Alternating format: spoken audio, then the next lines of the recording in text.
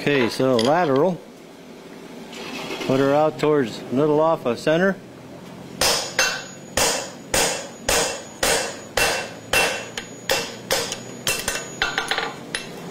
Medial, a little bit tighter.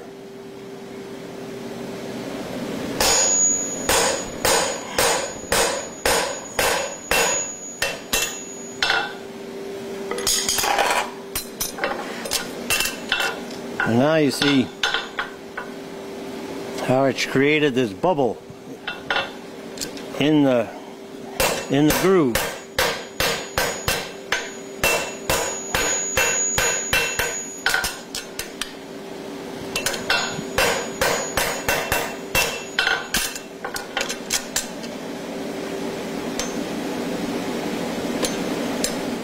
This is a classic concave.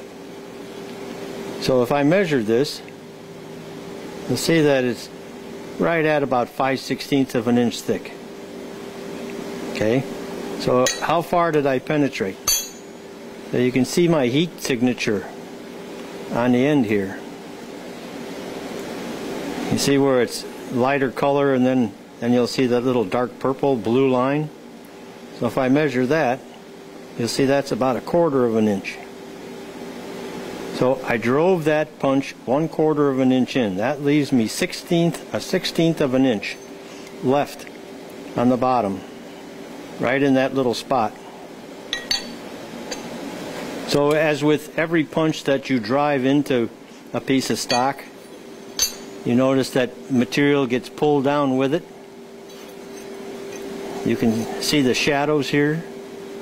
Now we could come back and we can smooth this out more flat this little bulge that we got right here, if you hit that with your hammer, it'll close up your hole. So we don't we address this with a grinder. We don't touch that with the hammer. But we could run this a little flatter. Get a little more of a smooth surface in contact with the foot.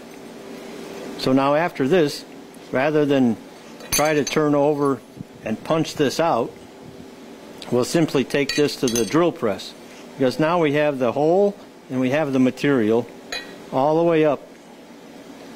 Notice it's, it's flush with this surface after we drove it down. So now I should be able to drill that out and I should have a circle all the way around each one of the stud holes that I put in.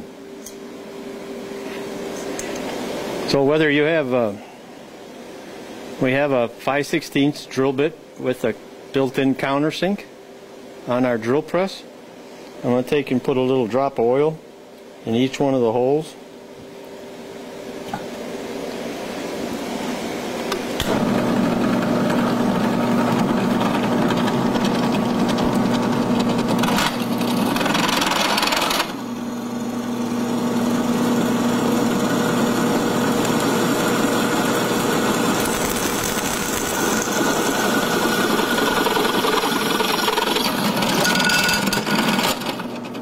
Take that down and put a little bevel on that with the countersink. So now as I turn over, see that ridge of material all the way around my hole? But I also have a nice sharp little line.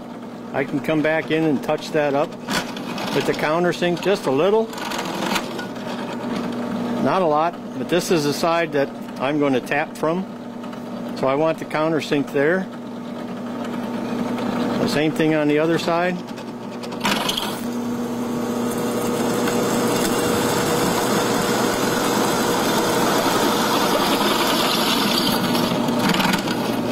Little touch. Turn around. Little countersink there.